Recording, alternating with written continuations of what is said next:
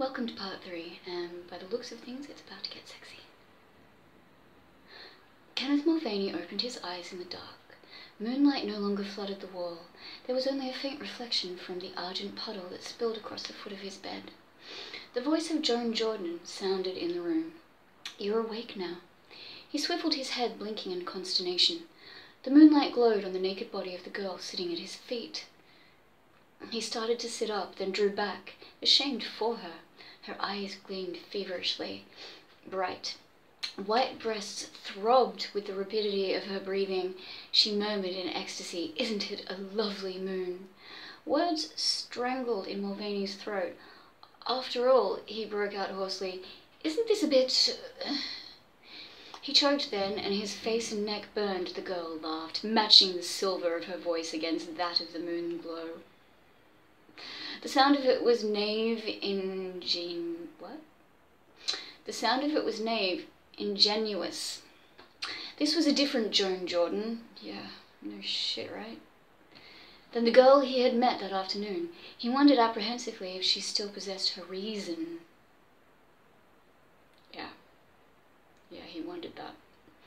Without knowing or understanding, he realized the effect the change had wrought in her. She did not know she was naked, not in the sense she would have that afternoon. She was as innocently naked as Eve in the garden before the fall. His feeling of shame for her went away. It was best to humor her. He smiled in the dark. Oh, man. She smiled in return. The moonlight glinted from tiny, sharp teeth. Astrally brilliant against the blood red of her lips.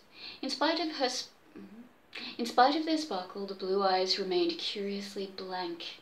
Mulvaney found that he was no longer surprised at her being there, even though he did not know the motive of her presence. And he did not think it strange that her gleaming body cast no shadow in the moonlight. It was only a point he noticed in passing.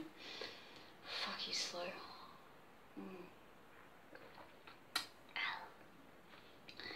You have no shadow, he remarked. Of course not. The moon is full. I had no shadow tonight in the lamplight, he continued. No, you wouldn't have. The moon is full, and you are one of us. The repetition irritated him. Oh man, this goes through a range of emotions.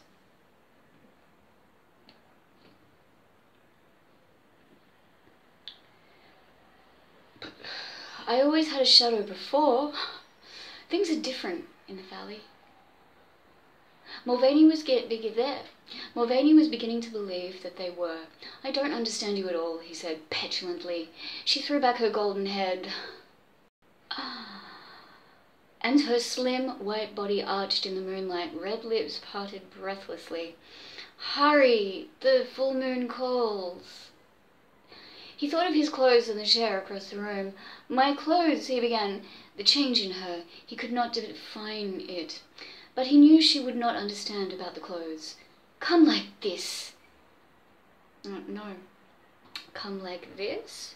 he asked feebly. Yep. Feeble is the way I would describe him for sure.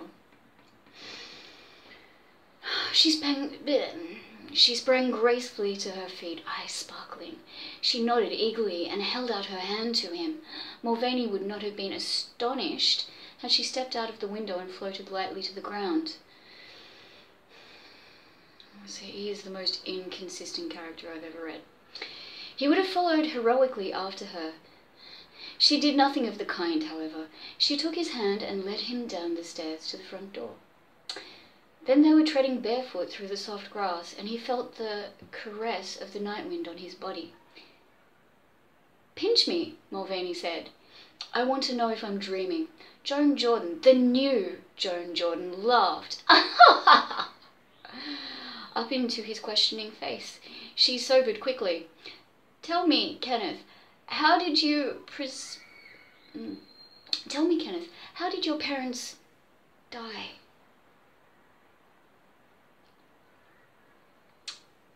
Strange way to begin that question.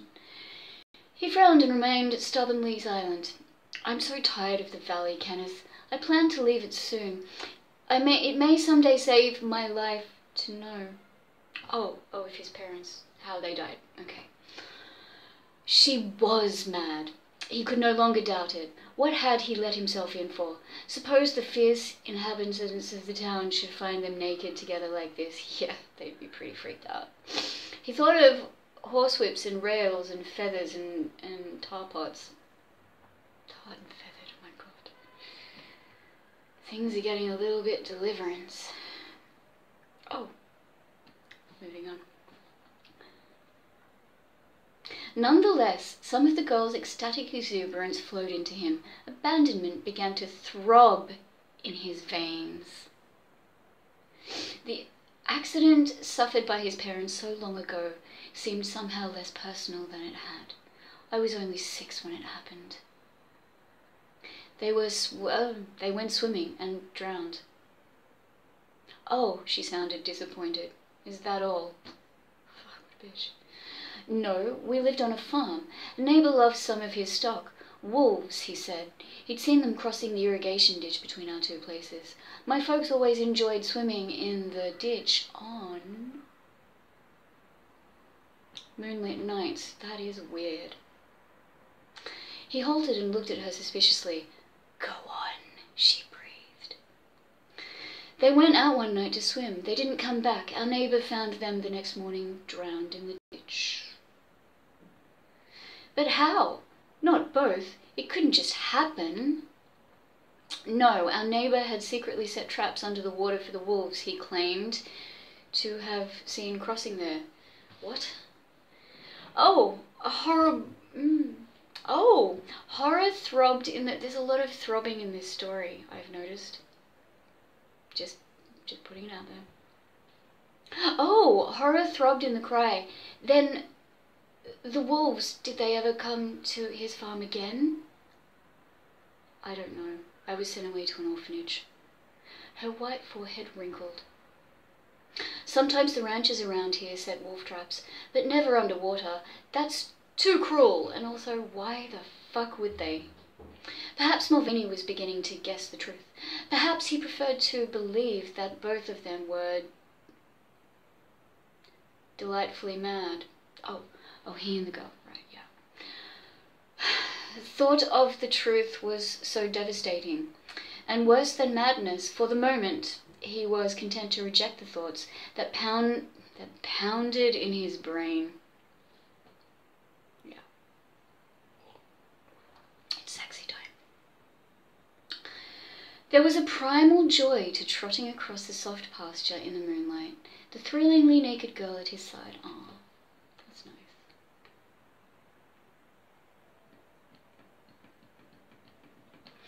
The moon was reflected in silver spangles from the dark, massive leaves of the cottonwoods along the creek. They paused in the shadows where the bank dipped down to the cool, dark waters. The, cool, the girl put both hands on his chest, forcing him to sit. Her vibrant young body was trembling with eagerness. Don't move, she whispered. Don't move, she whispered. Watch me. A stray shaft of moonlight flashed upon her marble skin. She dipped into the creek, rolled over in the shallow water, flanks gleaming. He could see he could see the water foam and the girl's body mm, the girl's body struggling. Then she poured towards shore, emerging. It was not Joan Jordan, but a huge dog-like beast, white fur from slim muzzle to graceful haunches. A wolf! Mulvaney started to get up, a cry rising in his throat. The white wolf whipped around and plunged into the creek. Joan Jordan emerged, naked and dripping. The breath whistled out of Mulvaney's lungs. Bad night, seeing things. The girl touched his bare shoulder with a cool, wet hand. You see, now you do it. Oh, you see, now you do it. She pulled him to his feet, pushed him to the water's edge. Mulvaney's senses swam. It was out of all reason. He wanted to back away and run. Then he saw Joan naked in the stream, dark water gurgling about the white thighs. He plunged forward. The white wolf galloped out on the bank. Kenneth Mulvaney poured after her.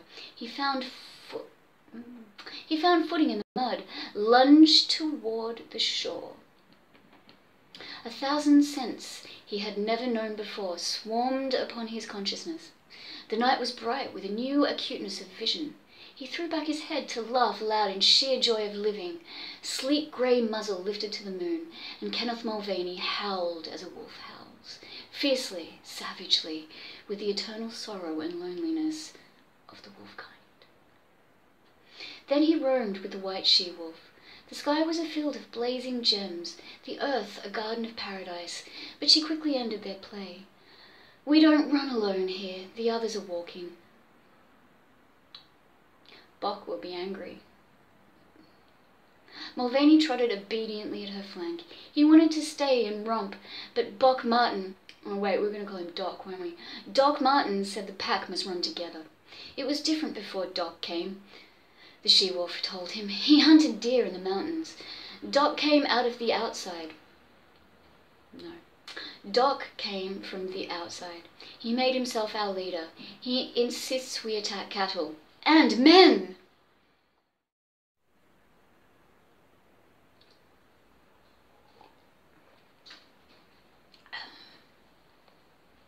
Men have guns, he said, bringing the thought into his wolf brain with a vicious tug. We don't fear guns, Kenneth, only silver. Silver kills our kind. Men know that. When they realize what we are, they can arm against us. Yeah, I don't know, not all of them. That is our danger from men. Another is the day. Never let dawn find you in wolf form. Oh, really?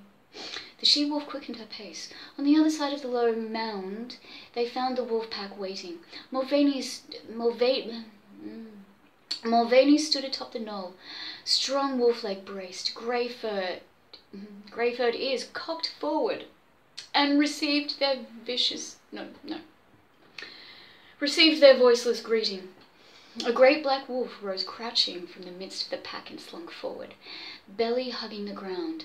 Despite the change in form, Mulvaney knew that this black beast was Buck, Doc Martin. The hackles lifted on his sturdy shoulders and he growled ominously. Don't, the she-wolf, don't, the she-wolf whispered. It's Buck, Doc. The slinking black wolf glided nearer. Mulvaney crouched, heaving loins pressed against the cold earth. The grey-furred muzzle wrinkled hatefully. Deadly fangs glinted in the moonlight. Um, I'm not sure if we'll finish recording now. I, I'm not sure because I'm not. I'm just not even sure at this point how much storage my phone can handle has.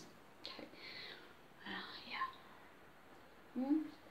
Hey, I feel a little better than I did last night and the night before, so that's something. Um, but I think I'm coming down with a cold. I think it's going around. You know, uh, it's meant to be summer, but it's actually been up and down weather-wise. Yesterday it was a little cold, which sucked. Um, I, don't know. I hope you've enjoyed this reading. Uh, I hope you continue to join me for um, the adventures of Doc, Kenneth, and Joan. I look forward to seeing what's happening. Um, hey kitty. Hi bud. Thanks for joining me. I decided to film more because I, there wasn't nearly enough and I, I don't want to give up, so...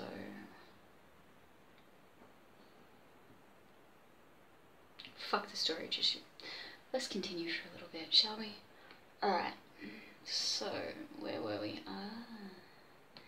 Doc Martin was evil.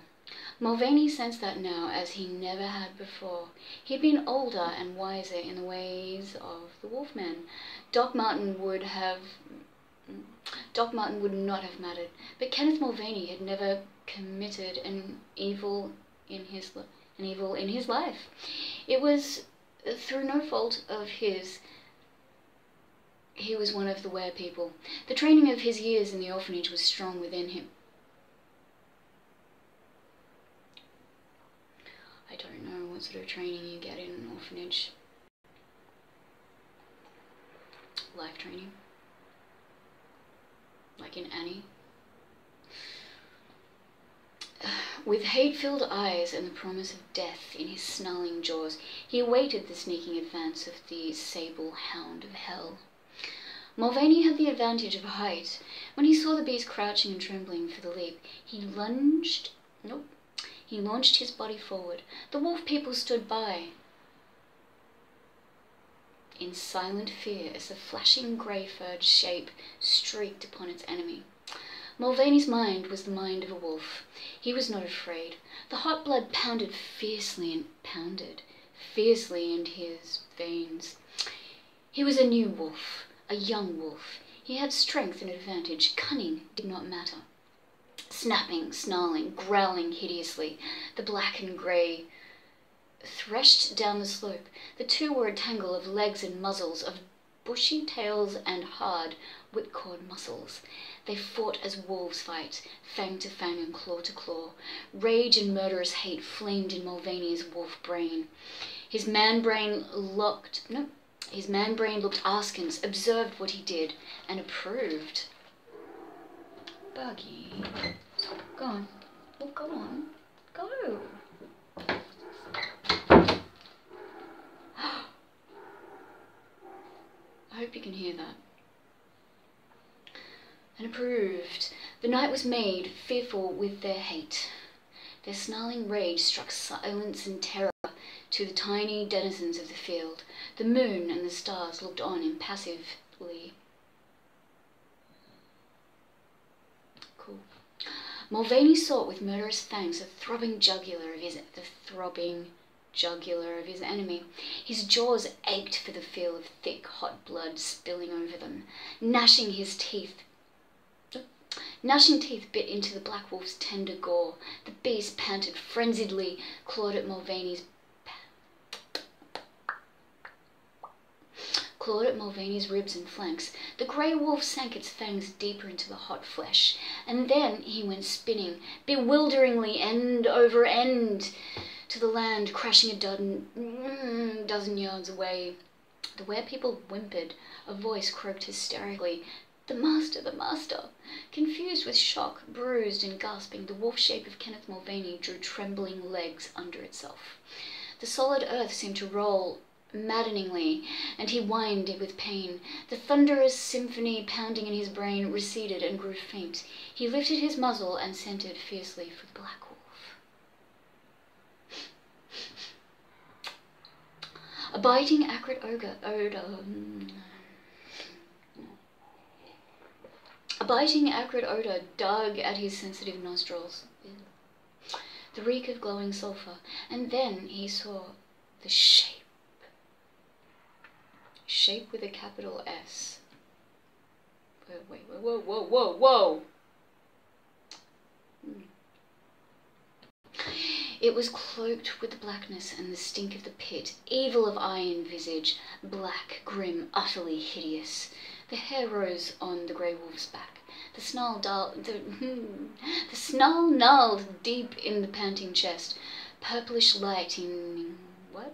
Purplish lightnings flickered in the gloom that clothed the hateful shape. The demon's silence was its most utter terror. Mulvaney struggled against the fear that ate at his heart. The monster, the monster spoke, capital M for monster. The solitude resounded with the whiplash of its voice. Neither men nor beast can destroy me, Kenneth Mulvaney. I have tested you and found you strong. Strength be in the evil you shall do for me. In my stead, from now on you shall lead the pack, and shall render unto me these souls one by one as death shall claim them. It was for this purpose I sent that call of the valley into your being, where you roamed outside and did not know yourself. The grey wolf snarled its hatred. Bloody hell. Okay, okay, one more bit. Let's let's do one more bit and then we'll finish up. Hate is my strength, the Prince of Evil derided him. I'm, I'm assuming the Prince of Evil is, you know, the shape monster. So like the devil. Oh man. All my loyal subjects hate me. Fuck. They serve me well nonetheless. But remember, I hold your souls in bondage. Ah! hey, hey. Yeah, alright. When you shall die, they shall be rendered unto me in my kingdom of the dead. Oh, that's sad. This is your portion of who you are, the descendants of the witch folk of Eld. Eld spelled E-L-D. I guess that means olden times. Through the years I have gathered this band together in my valley. Valley. Yeah. To increase and become strong, to battle the race of men for supremacy. The ancient practices shall return, the ancient laws shall be in order, not in this century nor the next, but by and by. Eternity is not too long to wait for my vengeance. The shape fell silent, a brooding, awful silhouette against the sleeping, sleeping wolf of a stone mountain. That is confusing.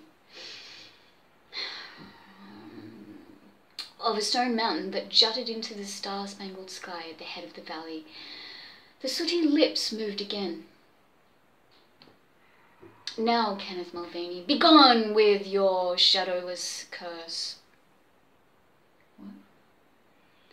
Begone with your shadowless curse. You've worked you've work to do tonight. You know, if you're gonna be like the boss of a bunch of people, you'd want to probably be a bit nicer to them. I don't know. Something's bound to go wrong. Whimpering with fright, the pack broke and flee. Fled. No less defiant, the grim grey wolf retreated down the slope, and with him cowered the white she-wolf. When Mulvaney looked again, the shape had disappeared. The night was clear and cool. From far away, his fury, his very ears caught the caught the tinkle of water splashing in the creek. He understood now. He knew he was a werewolf descended from werewolves. Yeah. The circumstance of his parents' death was no longer a mystery. Nor was the soulless look in his eyes, and those of these others without expression, nor the lack of shadow to follow them. They were all of the same tribe, they all bore the evil taint. The thought was a hateful one. What unholy pact with Satan had made this possible? though with many mm, misty eons of time had it continued to man this is a little florid just a little i mean i know i can talk but this is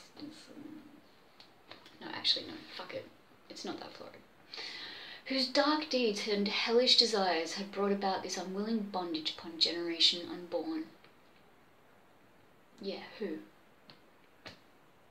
these were questions Mulvaney might never answer. The truth was sealed with the silence of time. He knew instinctively that the were-beast glorified in its unclean condition.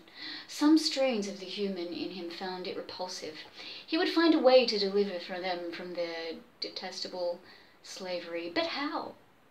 Could they return to the state of men and defeat the purpose of the beast? Beast by refusing to serve? Yeah, yeah, well, maybe. The thought was a vain one. The pack had gathered around him, and the moon shone pitilessly down. The ground under each, having heaving belly, was bright with its glow. The werefolk folk had no shadows, and no, yeah, we know that.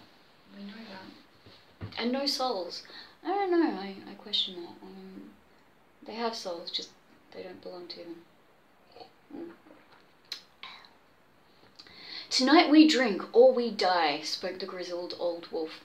Can you lead us to fresh blood, Kenneth Mulvaney? Mulvaney was aware of the thirst that had begun to torment his own throat. The moon had passed the zenith and time was short. They must make the kill before dawn. It was their portion, their fate. The problem confronting Mulvaney could not be solved before they had fed, as feed they must. Into his wolf brain crept the image of the cattle. Kitty. That's annoying.